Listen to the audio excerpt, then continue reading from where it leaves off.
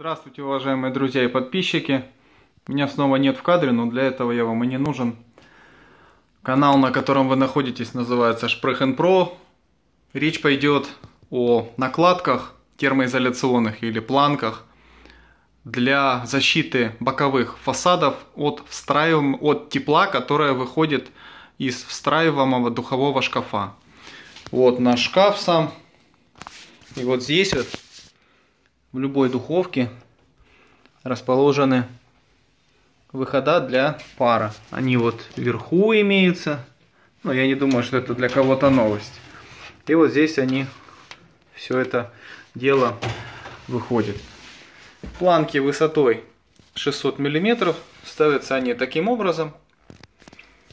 На 55,5 дюбелей крепить их не надо. Достаточно несколько шурупов 16 -х.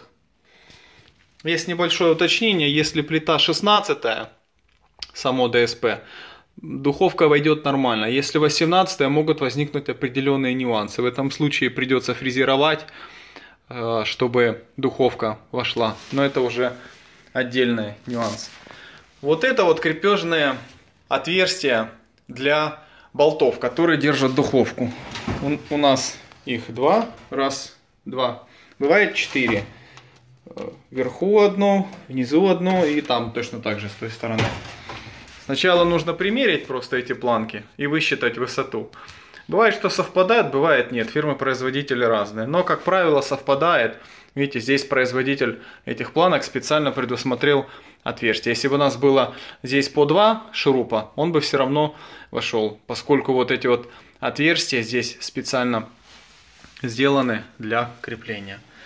Все они стоят. Вот у нас виден фасад. Он защищен вот этой накладкой.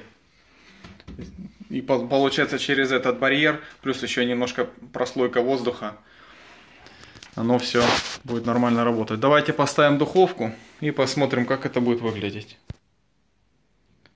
Итак, у нас стал шкаф. Я думаю, особо они смущать не будут. Они в такой же цвет подобраны, они есть разных цветов. Бутылочнице ничего не мешает.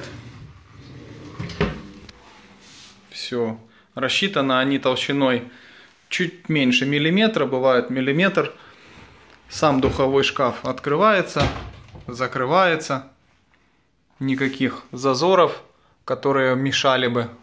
Ни больших, ни маленьких. То есть все подогнано. Значит, по инструкции, если у вашей духовки внизу тоже выходит тепло, нужно посмотреть э, внимательно. И, может быть, э, стоит обклеить термоскотчем фасад, либо что-то прикрутить снизу. Вполне возможно, что такую планку я этот вариант не рассматривал. Если можно, э, напишите в комментариях, как, как это. Может быть возникнет вопрос, нужно ли защищать верхнюю часть столешницы. По моему мнению, особо нет, потому что выход пара вот здесь вот идет. Он под углом и он распространяется, если мы посмотрим в профильной проекции, мимо постформинга, мимо вот этого капиноса столешницы, он выходит как раз вверх. Вряд ли он будет прийти. Если, конечно, столешница нависает сильно, тогда да, уже можно. А так, еще раз покажу, как выглядят эти планки. Так что вот этому фасаду тоже ничего не мешает. Вот абсолютно тут ничего нету. Так что пишите в комментариях, у кого что как. Я думаю, штука интересная, заслуживает внимания. Если фасады крашеные, достаточно хорошего уровня, вряд ли эти термоизоляционные планки будут нужны. Если фасады пленочные, ну тогда весьма желательно. Всем спасибо, до новых встреч!